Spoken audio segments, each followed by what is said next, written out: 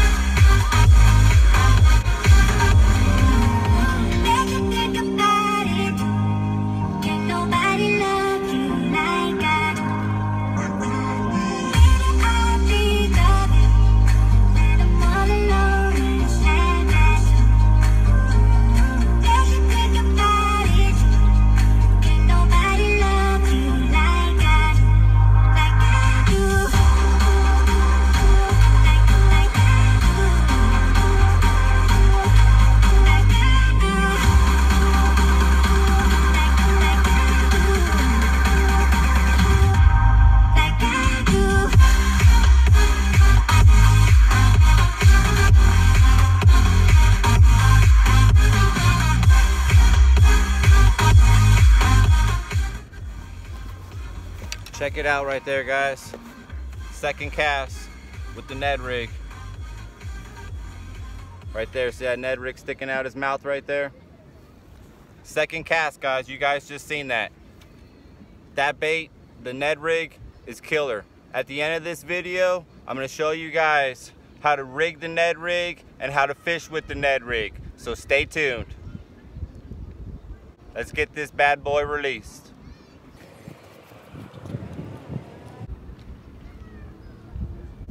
Thank you for biting the Ned rig.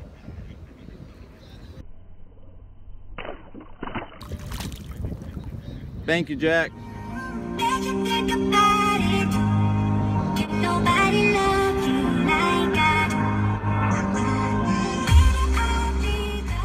Guys, I just got another one, but a little pleco came up right here, right down here, and uh, I dropped my little uh, Ned rig down there to see if he would bite it and as soon as it hit bottom this bass grabbed it right here right by this wall right here like probably an inch away from the wall. Crazy. They love that Ned rig guys I'm telling you. See you later dirty Dennis. See you later Dylan. See you later Jimmy See you later, John. I just lost two of them on the Ned rig back to back and they're probably like two pounders. The first one kind of got a little stuck on something on the way in and then it came out and I, I had them coming in just fine and then it just spit the hook. And then, you know, maybe like two casts later, I hook up to another big one, maybe two pounds or bigger halfway in it spits the hook again. So I uh, I switched up to a um, a, uh, a different uh, Ned head because the uh, the hook on that one was was coated and uh, on the tip of the um, of the hook it was like the coating came off and there was like the the actual hook on there because there's like a coating on uh, on the Bass Pro Shop ones that I was using. But I switched over to the actual Nedwood, the Ned rig ones from uh, Z-Man. Um, I was experimenting with both of them. I, I did have problems with the Bass Pro Shop ones because they're coated and when the coat comes off on the tip, um, you can't hook the fish. It, it doesn't hold the fish on any longer. So I switched back up to the Z-Man uh, shroom heads and I'm back to catching them again and the hooks are super sharp and they're not coated with anything so that's a plus. You guys got to make sure you get the shroom heads by Z-Man. And I like to use the 16th ounce. I'm gonna go over everything at the end of the video guys so don't even worry about it. See you later Dennis. Trevor. See you later Daryl See you later, Tyrone. All right, guys. Last little bass of the day. I lost a couple of them. They were over two pounds. They just spit the hook. I was using a Bass Pro Shop uh, Ned Rig hook and it was like coated and uh, the tip um, of the hook, the coat came off and it was messing up all my hook sets and I lost two good ones. They're about two pounds. They're halfway in and then they, the hook just came out their mouth. All right guys, I'm gonna release this fish right here and show you guys everything you need to know to catch bass on a Ned rig. See you later, Curtis. All right, guys. This is how I caught him. All right, guys. Now I'm gonna show you how I fish with the Ned rig. This is exactly how I catch fish on the Ned rig. First of all, I'm gonna show you guys the rods that I use and then I'll be showing you guys the baits. My first rod I'm gonna show you guys is a medium action Shimano Crucial. It's a 7.2 medium action and the lure weight is 1 8 to 3 8 The line weight is 6 pound to 12 pound line.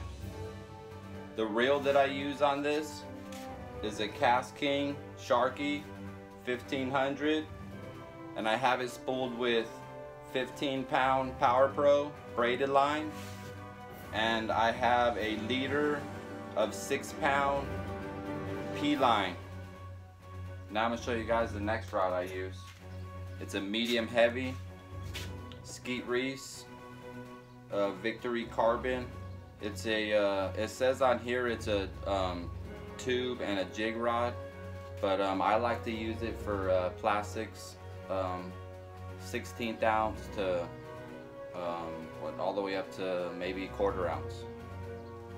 Um, the line weight on here is 8 to 15 pound line and uh, the uh, lure weight is quarter ounce to three quarter ounce. It's a uh, carbon um, composite rod. So with these type of rods, you lose a little bit of sensitivity.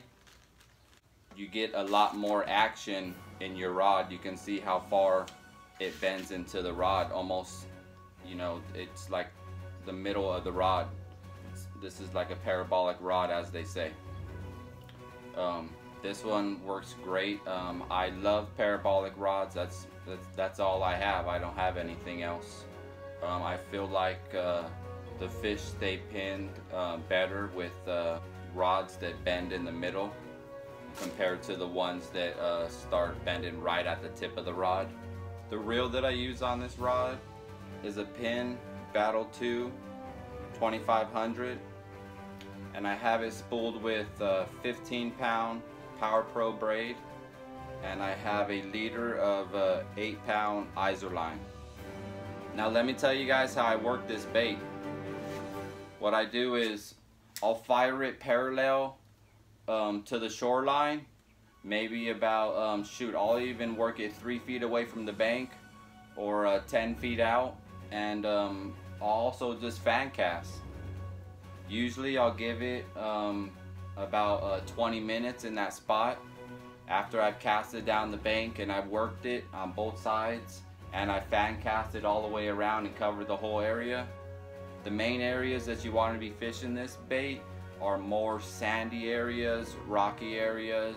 I'm going to be doing a lot more informational videos like this one guys and I'm going to teach you guys how to um, use all various baits, plastics, hard baits, you name it and I'm gonna show you guys what rods, what reels I use, and um, exactly how I worked the bait and caught the fish on them. I'm to show you guys how I work the bait now. What I do, I'll fire it out there, make a long cast, click the bell over with your hands because clicking the bell over with your reel and turning it and flipping this bell over, it'll mess up your reel. So if you want to save the life of your reels, flip it over with your hands as you usually do, fire it out there, and shut it with your hands and your reels will last you a lot longer.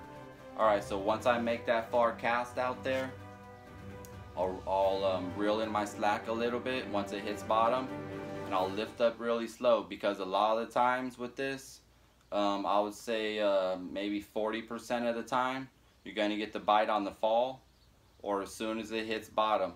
So what you want to do is lift up real slow once you cast out there and it hits bottom. Lift up real slow because you'll feel the fish on there. And what will happen is you'll lift up and your line will get tight and then you'll feel the fish tug and your, your pole will start going down because the fish is going to start taking off with it in his mouth. And then from there, all you got to do is just pull back. Don't do a hook set like you're uh, flipping um, some heavy cover like that and just set the hook super hard. You don't want to do that. You'll actually blow the, the Ned rig out the fish's mouth. So what you want to do is get your line tight when it starts when he starts taking your line and and your pole starts going down like that what you want to do is just pull back just that fast reel down pull back you can either reel down and um, and uh, do it that way or you can let them just take off with it a little bit. Only let them run about I let them run about maybe a foot at the most. And then uh, I'll just set the hook from there and I just pull back. Now the way that I work it is after I fire it out, fire it out there I'll um, like I was saying lift up my rod real slow. If I don't feel the bite right then then I'll just jig my rod a little bit. And what I do is I'll, I'll just hop it maybe uh, maybe a foot at a time. So what I do is I'll just let it sit maybe three to seven seconds. You're gonna have to test this out. Some some lakes are more pressure than other and uh, others. And then um, you know it's a totally different environment in a different lake so now I'm gonna show you guys the jig heads and uh, the baits that I use. I use the uh, the Ned rig heads by uh, Z-Man. It has a really thin wire hook on it. As you can see it has a uh, a keeper on there. So when you slide your baits up um, your baits stay on there and it keeps them from sliding down your hook. Also with it being um, a shroom head, it's flat on the bottom and your hook stays straight up in the air and it just bounces on the bottom with your bait sticking straight up in the air. This is the bait right here that I um, primarily throw. It's a uh, 3 inch Stik-O by Bass Pro Shop. This one right here is a green pumpkin with black flake and I'll also throw one um, that is watermelon with a red flake or black flake in it also. Well, I hope you guys learned something from this video. There's going to be a lot more to come, probably about uh, 15 to 20 more videos um, from this series. I'm not going to name this series, but um, I'm just going to be doing a lot more informational videos for you guys. As always guys, if you like this video, please give it a thumbs up. If this is your first time watching or you're not subscribed yet, please hit that subscribe button right there. Um, it really keeps me motivated to make more videos when I see my subscriber count go up. Thank you guys for watching. I really appreciate it. As always, I'll see you guys next weekend. Peace out.